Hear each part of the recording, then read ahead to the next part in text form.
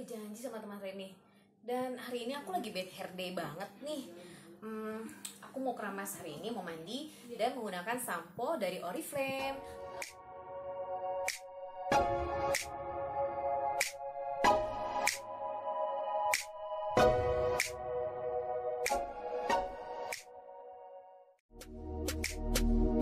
Love Nature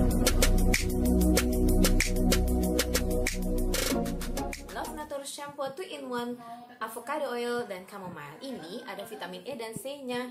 Jadi bisa sebagai antioksidan gitu Dan bagus banget buat cuaca yang panas kayak gini. Aku mandi dulu ya